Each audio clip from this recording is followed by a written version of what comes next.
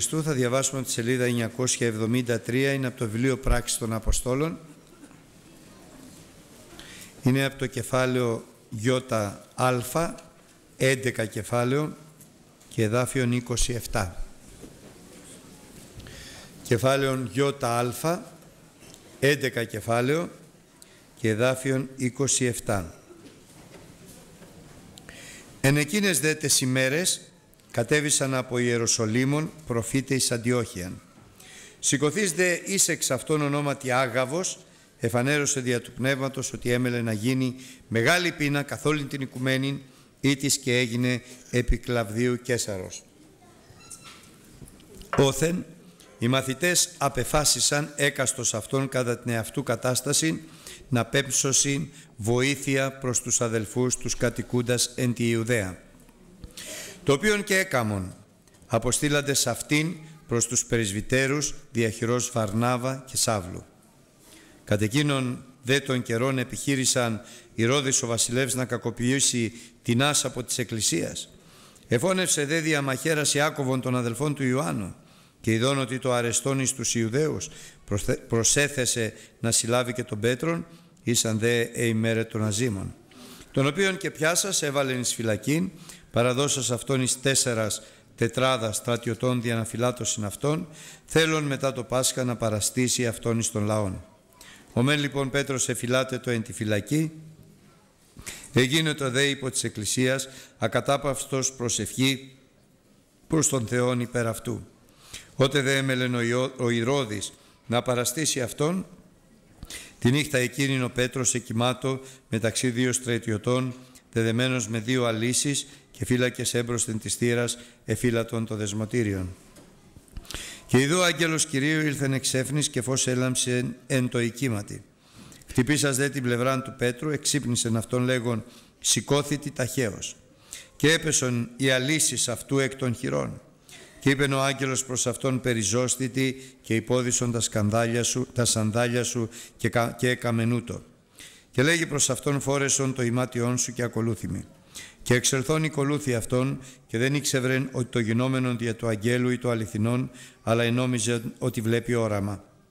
Αφού δε πέρασαν πρώτην και δευτέραν φρουράν, ήλθον στην πύλην της Σιδηράν, τη φέρουσα εις την πόλην, ή της αφεαυτής, η νύχθη εις αυτούς, και εξελθόντες διεπέρασαν οδόν μίαν, και ευθύς ο άγγελος ανεχώρησεν από αυτού. Και ο Πέτρος συνελθόν σε αυτόν είπε, τώρα γνωρίζω αληθώς, ότι ο Κύριος εξαπέστειλε τον άγγελον αυτού και με ηλευθέρωσεν εκ της χειρός του Ηρώδου και όλης της ελπίδος του λαού των Ιουδαίων. Και αφού εσκέφθη, ήλθε στην οικίαν Μαρίας, της μητρός του Ιωάννου του επωνομαζομένου Μάρκου, όπου ήσαν ικανοί συνηθρισμένοι και προσευχόμενοι. Ότε δε ο Πέτρος έκρουσε την θύραν του προαυλίου, προσήλθε θεράπαινα ονομαζομένη Ρώδη διανακούσει. Και γνωρίσασα την φωνή του Πέτρου από της χαράς δεν ίνιξε την πύλη, αλλά έτρεξε και απήγγειλε. Ότι ο Πέτρος ίσταται έμπροσθεν της πύλης. Ιδέ είπαν προς αυτήν παραφρονής. Εκείνη όμως τη σκυρίζεται του ούτως έχει. Ιδέ έλεγον ο άγγελος αυτού είναι. Ο δε Πέτρος επέμενε κρούον και ανοίξαντε σίδων αυτών και εξεπλάγησαν. Και εσείς σας εις αυτούς την χείραν διανασιωπήσωση διηγήθη προς αυτούς πως ο Κύριος εξήγαγε αυτόν εκ της φυλακής και είπε να απαγγείλατε ταύτα, απαγγείλατε ταύτα προς τον Ιάκωβον και τους αδελφούς και εξελθόν οι πήγαινοι άλλων τόπων. Αφού δε εξημέρωσεν ή το ταραχείου κολύγει μεταξύ των στρατιωτών, τι άρα έγινε ο Πέτρος. Ο δε Ηρώδης αφού εζήτησεν αυτόν και δεν έβρεν, ανακρίνας τους φύλακας προσέταξε να θανατοθώσει και κατά βάση από τις Ιουδαίες στην Κεσάριαν διέτρεβεν εκεί. Ήτο δε ο Ηρώδης σφόδρα οργισμένος κατά των τυρίων και Σιδωνίων, ήλθον δε προς αυτόν ομοθυμαδών και πείσαντες των βλαστών, τον επί του κοιτώνος του βασιλέου συζήτουν ειρήνη, διότι ο τόπος αυτόν ετρέφετο από του βασιλικού. Και εν ημέρα ορισμένη, ενδυθείς ο Ηρώδης βασιλικήν στολήν και καθίσας επί του θρόνου, εδημιγόρη προς αυτούς. Ο δε λαβός επεφώνει, Θεού φωνή και ουχή ανθρώπου. Και παρευθύς επάταξεν αυτόν άγγελος Κυρίου, διότι δεν έδωκεν τη δόξα εις τον Θεόν και γενόμενος κολικόβριτος εξεψύχησεν. Ο δε λόγος του Θεού ύφηξανε και επληθύνετο, ο δε Βαρνάβας και Σάβλος υπέστρεψαν εξ Ιερουσαλήμ αφού εξεπλήρωσαν την διακονία αυτών και παραλαβώντες με θεαυτόν και τον Ιωάννην το με, με επωνομασθέντα Μάρκον Αμήν. 14-15 χρόνια έχει περίπου, 10 με 15 χρόνια έχει η Εκκλησία του Χριστού όπου τεράστια, μεγαλεία, θαυμάσια γίνονται δια των χειρών των Αποστόλων από τον Ιησού Χριστόν τον Κύριον. Και όχι μόνο αυτό, αλλά άνοιξε θύρα μεγάλη και ενεργητική ο Κύριος μας ο Ιησούς Χριστός και στην Αντιόχεια και εκεί κάλεσε για πρώτη φορά στο έργο του τον αδερφό μας τον Παύλο αφού για 7 ολόκληρα χρόνια τον είχε εις εκπαίδευση κατηδίαν, κατά μόνας, το αποκάλυπτε το Ευαγγέλιο αλλά και τον εκπαίδευε στην πραότητα και την ταπείνωση γιατί εκφύσεως ήταν ένας, ένας άνθρωπος υπερήφανος και σκληρός στην πραότητα και στην ταπείνωση αλλά και στην υπακοή στο Λόγο του Θεού και στο θέλημα του Θεού γιατί πολλές φορές εμείς νομίζουμε ότι το θέλημα του Θεού είναι αυτό και είμαστε βέβαιοι βλέποντας κατόψιν αλλά ο Θεός γνωρίζει ότι είναι διαφορετικό. Όπως παραδείγματος χάρη μετά την επιστροφή του τρία χρόνια που βρίσκονταν στην Αραβία και εκεί ο Κύριος του δίδασκε το Λόγο του Θεού όταν έφτασε στην Ιερουσαλήμ σκέφτηκε ότι το θέλημα του Θεού είναι να κηρύξει στα Ιεροσόλυμα Ιησούν Χριστόν και τούτον εσταυρωμένο είχε λογικά, λογικότατα επιχειρήματα επ' αυτού δηλαδή όλοι με ξέρουν ότι ήμουν διώκτης σκληρός της Εκκλησίας. Τώρα ακούγοντας τη μεταστροφή μου, την ομολογία μου και τα λόγια μου θα πιστέψουνε. Λογικό αλλά έξω από το θέλημα του Θεού.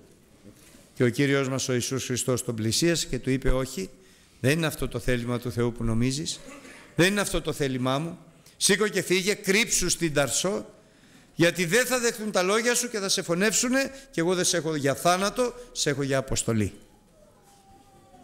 Πράγματι, όπως είπε ο Κύριος έτσι και έγινε, έφτασε σε μεγάλο κίνδυνο η ζωή του και οι μαθητές προσπάθησαν, μπόρεσαν, τον έβγαλαν, τον έδιωξαν και έμεινε άλλα τέσσερα χρόνια στην Ταρσό για να μάθει έτσι περισσότερο την πραότητα και την ταπείνωση και έτσι περισσότερο ότι δεν περπατάμε κατόψιν αλλά περπατάμε με οδηγία Πνεύματος Αγίου. Όσο και να μας φαίνεται λογικό, βέβαιο, καλό, αν δεν είναι θέλημα Θεού, θα είναι τραγικό. Και έτσι λοιπόν ήρθε το πλήρωμα του χρόνου, το 44 μετά Χριστό, στα στην Αντιόχεια, όπως είπαμε ο Κύριος άνοιξε θύρα μεγάλη και ενεργητική, πήγε ο Βαρνάβας, προσκάλεσε τον Παύλο και εκεί υπηρετούσαν τον Κύριο, νίστευαν και προσεύχονταν και κήρυταν το Ευαγγέλιο του Ιησού Χριστού. Και ξαφνικά κακό. Έρχεται ο Άγαβος ο προφήτης με διακονία προφήτου από τα Ιεροσόλυμα σαφώς σταλμένος από τον Θεό στην Αντιόχεια να φέρει ένα μήνυμα όπως ο Σοφονίας. Εφανέρωσε λέει η γραφή δια του πνεύματος ότι έμελε να γίνει πείνα μεγάλη καθ' όλη την οικουμένη η οποία και έγινε. Και μάλιστα ιστορικά επικλαβδίου του Κέσαρος. Μα είναι δυνατόν στην Ρώμη, στην πλούσια αυτή επικράτεια, την κυριαρχία σε όλη την τότε γνωστή οικουμένη να υπάρξει πείνα. Αδερφοί αγαπητοί, όταν το πει το Πνεύμα το Άγιο, θα γίνει. Και έγινε. Και τότε πολύ σωστά. Η Εκκλησία της Αντιοχίας, όλοι οι αδελφοί, ευκατάστατοι και πλούσιοι άνθρωποι στην περιοχή εκείνη απεφάσισαν, απεφάσισαν κάθε ένας για τον εαυτό του και κατά την κατάσταση την οποία επέτρεψε ο Θεός να έχουν να πέψουν συν βοήθεια προς τους αδελφούς τους κατοικούντας εν τη Ιουδαία. Μέσα λοιπόν τώρα στην Ιερουσαλήμ υπάρχει η Εκκλησία του Χριστού για την οποία μερίμνησε ο Θεός δημιουργώντας εκκλησία στην Αντιόχεια να προμηθεύσει τα απαραίτητα προς το ζήν έβαλε ο Θεός στην καρδιά των αδελφών στην Αντιόχεια αγάπη και πρόθεση να συμμετέχουν και να βοηθήσουν τους αδελφούς τους στα Ιεροσόλυμα οι οποίοι θα ήσαν εντελώς εγκαταλελειμμένοι αν ο Κύριος δεν είχε προνοήσει και δεν είχε προβλέψει να δημιουργηθεί η Εκκλησία στην Αντιόχεια.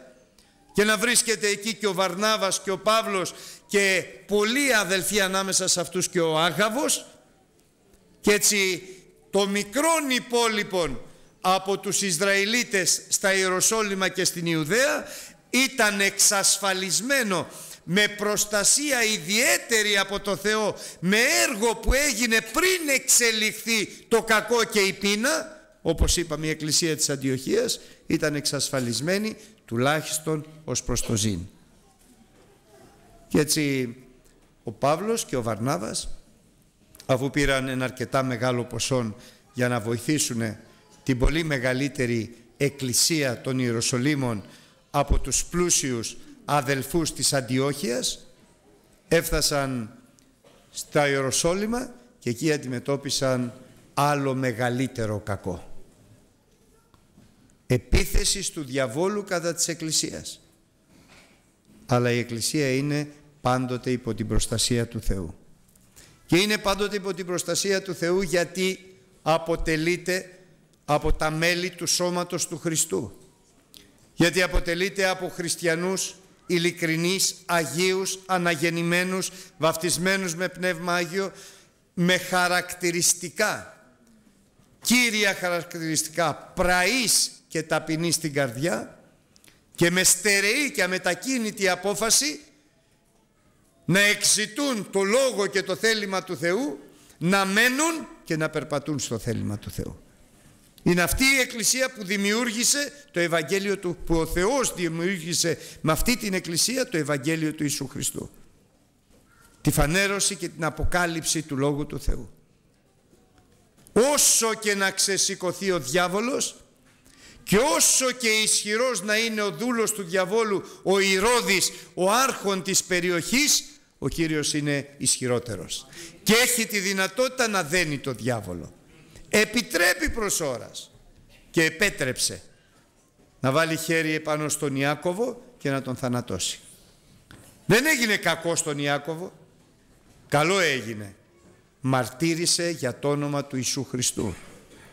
Άνθρωπος που ονειδίστηκε και θανατώθηκε για το όνομα του Χριστού μεγάλο μισθός στον ουρανό και μεγάλη δόξα στους αιώνες των αιώνων. Συνεχίζει όμως ο Ηρώδης. Τώρα θα τα βάλουμε και με τον Πέτρο. Εάν σκότωσα τον Ιάκωβο, σκοτώσω και τον Πέτρο, τέλειωσε η εκκλησία των Ιεροσολύμων του Χριστού η αίρεση των Αζωραίων που από την πείνα φαινοσμέν από το διωγμό αφετέρου δεν έχει συνέχεια. Όμως αδερφοί αγαπητοί αν κάτι έχει συνέχεια στη ζωή μας είναι ο Χριστός. Όλα θα παρέλθουν. Ο Λόγος του Θεού μένει στον αιώνα. Αν κάτι έχει συνέχεια είναι ο λαός του Θεού. Αλλά ο λαός του Θεού αυτός που ζει με πνεύμα πράο και ταπεινό και έχει απόφαση μέσα στην ψυχή του την απόλυτη πακοή στο Λόγο του Θεού. Την ορθοτόμηση έχει και την ορθοπόδηση αποφασίζει. Και έτσι στη φυλακή ο Πέτρος, ο Παύλος στην εκκλησία, συναντάει μια εκκλησία δαρμένη, διωγμένη, ταλαιπωρημένη η οποία δεν έχει άλλη ελπίδα παρά μόνο τον Κύριό της στο ταμείο, στην προσευχή και στην δοξολογία. Βλέπει μια εκκλησία που να προσεύχεται ακαταπαύστος. Βλέπει μια οικογένεια, την οικογένεια του Ιακώβου αλλά και την εκκλησία του Ιακώβου του αδερφού του Ιωάννου να κλαίνε απαρηγόρητη θρηνώντας το θάνατο του Ιακώβου. Το απαρηγόρητη δεν ισχύει γιατί ο Θεός πάντα παρηγορεί. Και βλέπουν και μία εκκλησία να βλέπει τον Απόστολο Πέτρο έτοιμο θάνατο. Καταδικασμένο από τον Ηρώδη, αλλά όχι από το Θεό. Και τώρα επεμβαίνει ο Θεός.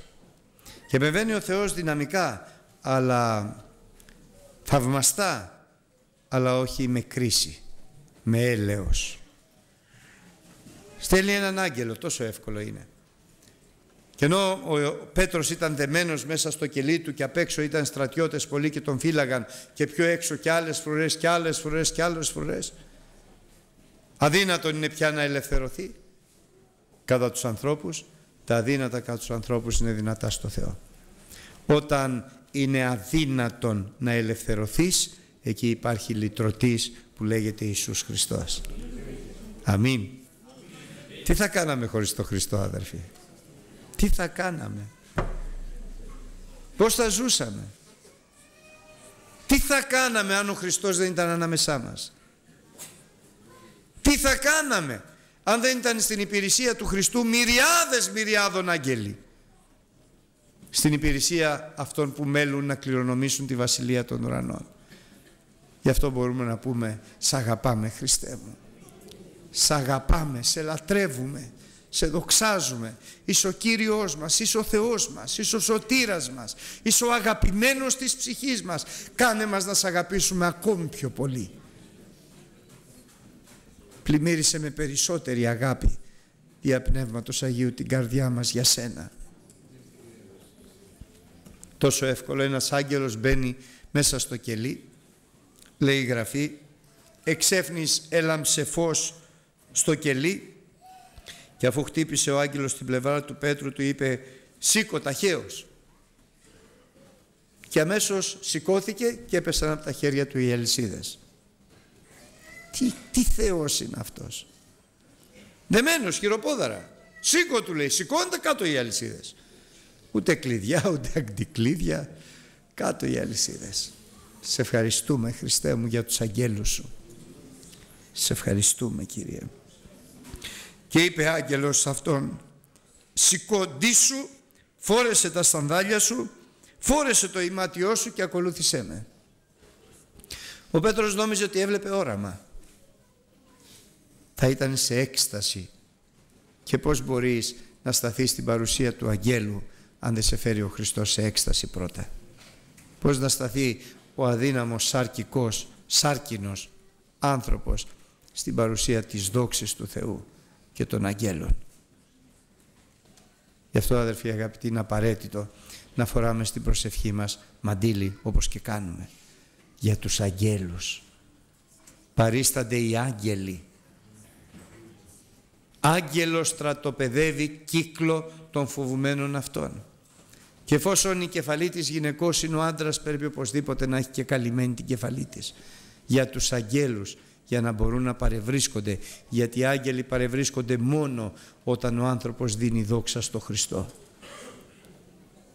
ενώ αντιθέτως ο άντρας πρέπει να είναι ασκεπής γιατί η δόξα του ανδρός είναι ο Χριστός να δοξάζεται λοιπόν μέσα, σε ασκεπή, μέσα από ασκεπή άντρα ο Χριστός για να παρευρίσκονται οι άγγελοι.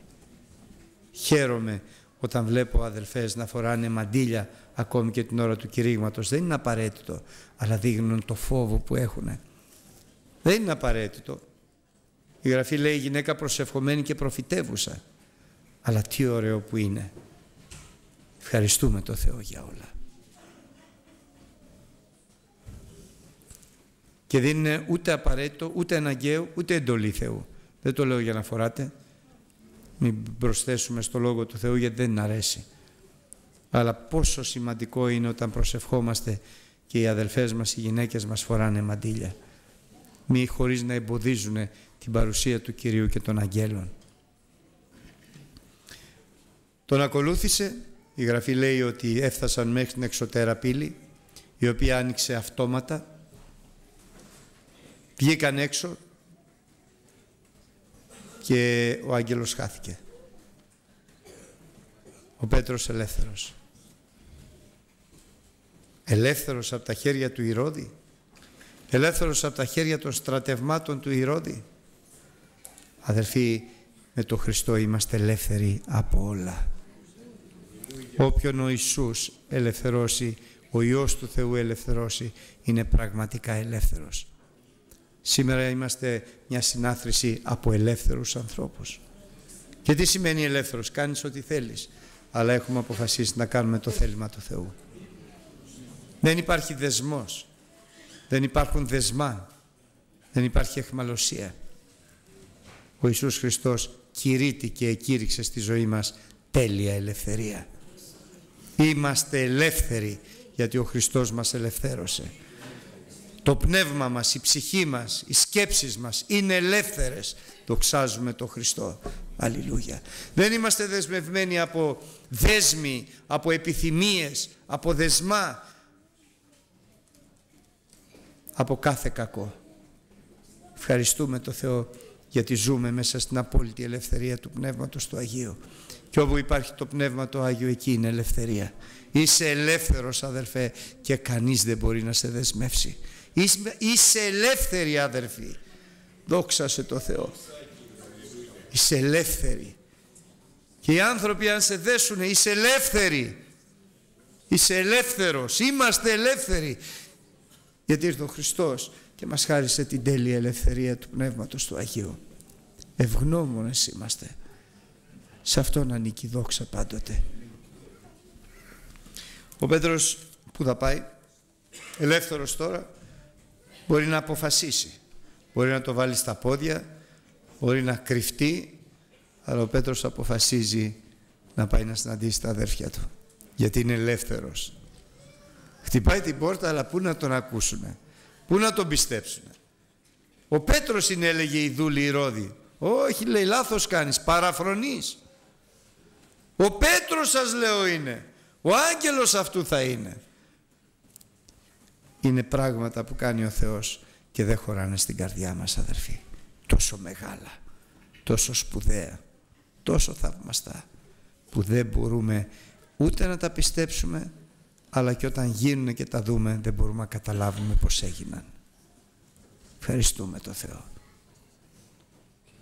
Μπήκε μέσα, φαντάζεστε χαρά, αλλαλαγμός, δοξολογία, μια ομάδα προσευχόμενη υπέρ του Πέτρου. Τι προσεύχονταν, άραγε. Να τον ελευθερώσει. Αφού δεν το πίστευαν και πολλοί. Γιατί, γιατί είναι αδύναμοι, είναι άνθρωποι αδερφοί. Είμαστε άνθρωποι αδερφοί. Αδύναμοι, ομοιοπαθείς, άθλοι, ουτιδανοί, κακομυριασμένοι αν δεν είναι η δόξα του Χριστού ανάμεσά μας. Και ο Πέτρος κούνησε το χέρι του, τους λέει ησυχάστε, τους είπε πως τον ελευθέρωσε ο Κύριος και σηκώθηκε, έφυγε ακολουθώντας τον Χριστό, τα ίχνη του Χριστού, το δρόμο που ο Θεός είχε προσδιορισμένο για Αυτόν. Όμως το κακό ακόμη έμενε, η Ρώδης. Όλοι οι Ισραηλίτες είχαν ελπίσει στον Ηρώδη για να έχουν ένα τρώνε. Εκτός από την Εκκλησία του Χριστού που είχε να τρώει γιατί την είχε προμηθεύσει ο Θεός. Αλλά το κακό συνέχιζε. Ο Θεός όμως μπορεί να μετατρέψει την κατάρα σε ευλογία. Το κακό σε αγαθό. Μπορεί αδελφοί;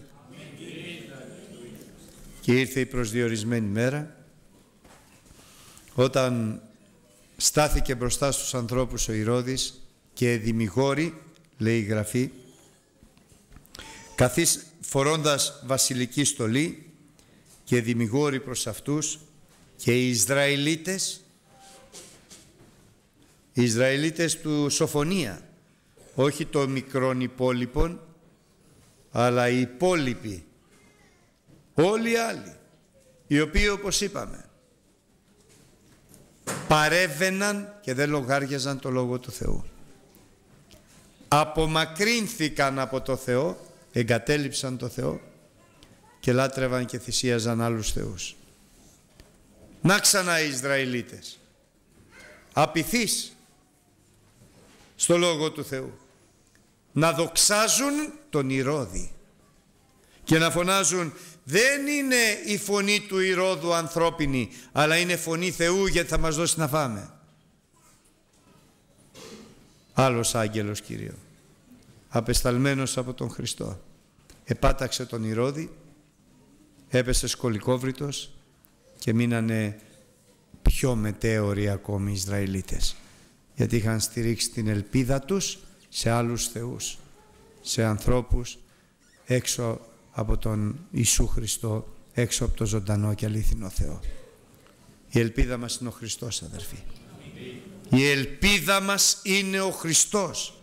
Μόνο ο Θεός προσφέρει αληθινή, μόνιμη, θαυμαστή προστασία στους ανθρώπους στους καιρούς τους κακούς. Μόνο ο Θεός.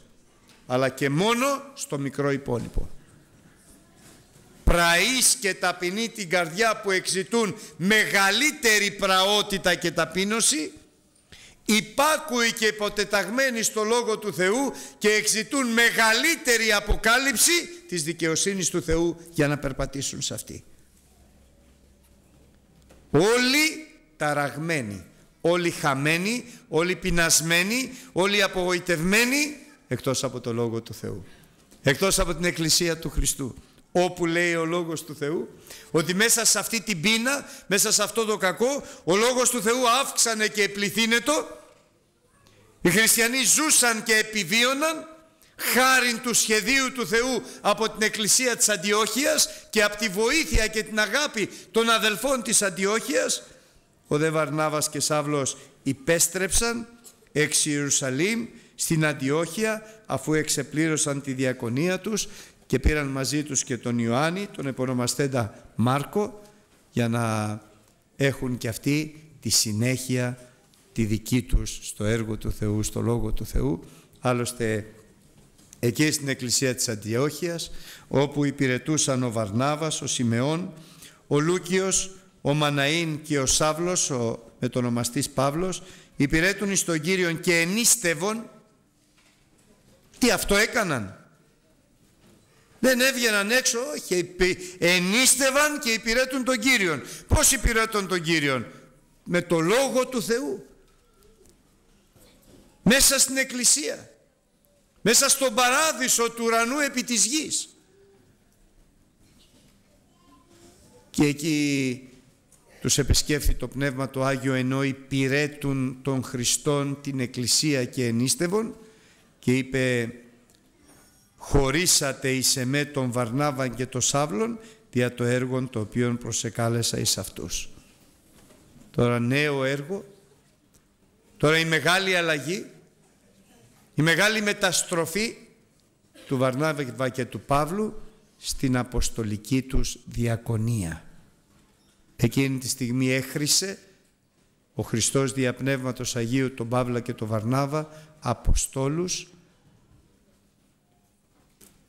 σκεύει εκλογή τους και χωρισμένα, διακεκριμένα δια το έργο το οποίο είχε προσδιοριστεί από τον Πατέρα Θεό προκαταβολής κόσμου. Και ο Λόγος του Θεού προχωράει. Το έργο του Θεού συνεχίζεται και εμείς λέμε αμήν. Δόξα να έχει ο Θεός. Να ψάλουμε αδερφοί τον ύμνο